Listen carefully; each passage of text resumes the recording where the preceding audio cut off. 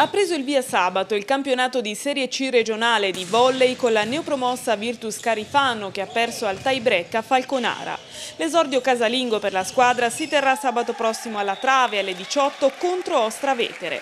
La Virtus è stata inserita nel girone nord assieme ad Agugliano, Ancon Volley, Ostra Vetere ma anche Falconara, Osimo, Sabini, Castelferretti e Bottega. La formula prevede che al termine della prima fase le prime quattro dei due gironi andranno nel pol promozionale con la prima promossa piazza direttamente in B2, mentre per la seconda piazza se la vedranno le squadre classificate dal secondo al sesto posto, oltre la prima della Pol Salvezza. Per le retrocessioni, al momento 2, molto dipenderà dalle formazioni marchigiane che scenderanno dalla B2.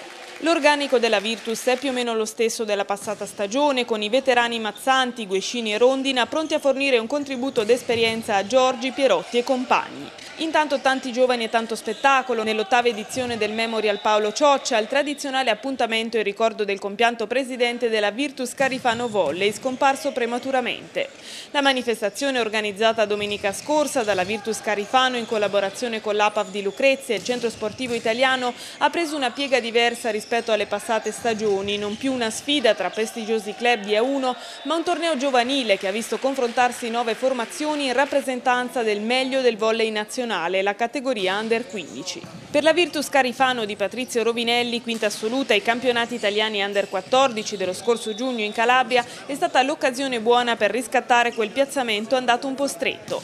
E i fanesi l'occasione l'hanno sfruttata, aiutati anche dai risultati delle gare del mattino che hanno sovvertito tutti i pronostici. A sorpresa le lombarde Diavoli Rosa Brughiero e Segrate 1978 sono rimaste fuori dal girone finale, mentre la Virtus, mantenendo fede alle aspettative, ha superato di slancio sia il Loreto che il volley argentario.